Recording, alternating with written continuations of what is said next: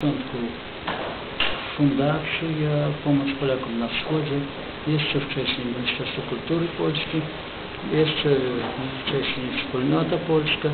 Tak, to było tak. A potem już zacząłem szukać pieniędzy u sponsorów na Białorusi, w Grodnie przeważnie. I dyrektorzy przedsiębiorstw dawali mi pieniądze. A ostatnio nasze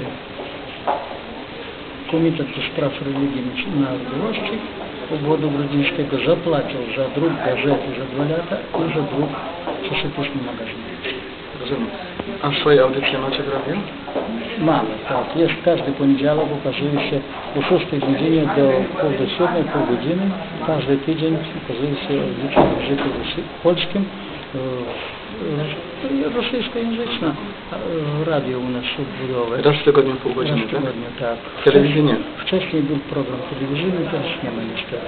Ale do tego dążymy. Ja myślę, że w ciągu roku rozstrzygnie się ten problem. Też będzie ogólnokrajowy program telewizyjny, bo jest e, w Centralnym Radiu Mińskim program w języku polskim, ale to program nie o Polakach, a w ogóle o życiu na Białorusi. Rozumiem. Bo jest też e, radiostacja w Białymstoku, która, e, która Jest. wysyła też, to znaczy organizuje programy e, w języku białoruskim. Tak, Jak to wygląda? racja. Czy Słuchacie to? Niestety nikt nie słyszy tego. Dlaczego? To bardzo słaby zasięg. To do granic Białorusi chyba nie dochodzi. Słyszałem to w Wilnie, na antenie radia z Nadwilni. Oni przekazują do Wilna.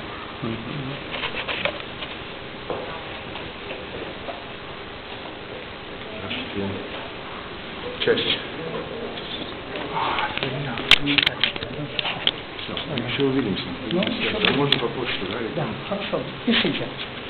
Договорились. Посмотрим, что не увидишь. Хорошо, да. Потом я сначала поберусь.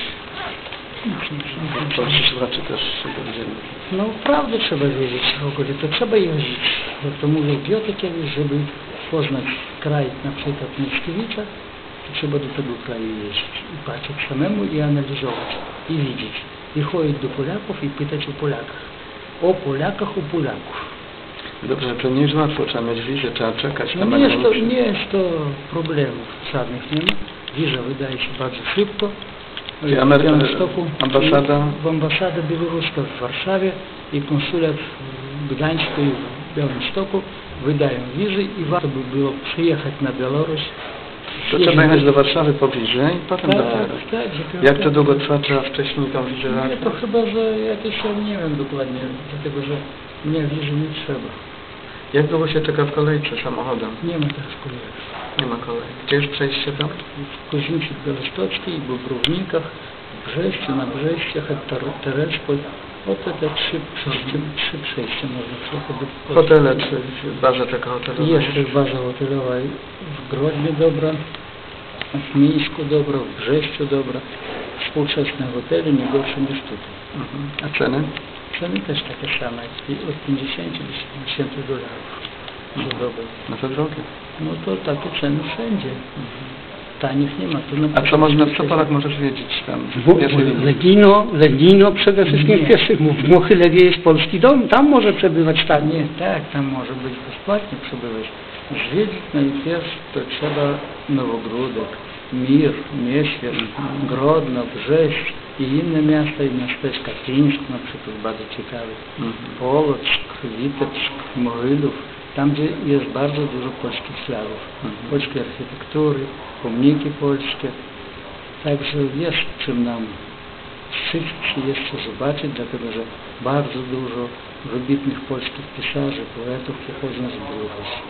A na pierwszym miejscu to Adam Mickiewicz i Uliza Użyszkowa. Tylko dlatego można jeździć do Grodna i patrzeć oddać Wołki, cześć tym wspaniałym. Czy w Nowogródzku jest jakieś muzeum Mickiewicza? Jest już dawno, od 1955 roku działa to muzeum, a zaczęło się to w 1940 roku. Polskie Muzeum w czasie Polski było otwarte w 1938 roku, w 1939 wojna zaczęła się, a w 1940 decyzja komisarzy była taka, żeby odbudować Muzeum Adama Mickiewicza w Nowogródku i Lizy Brzuszkowej w Grodnie. To, co jedyne oni zrobili dobrego dla Polaków. Czy będzie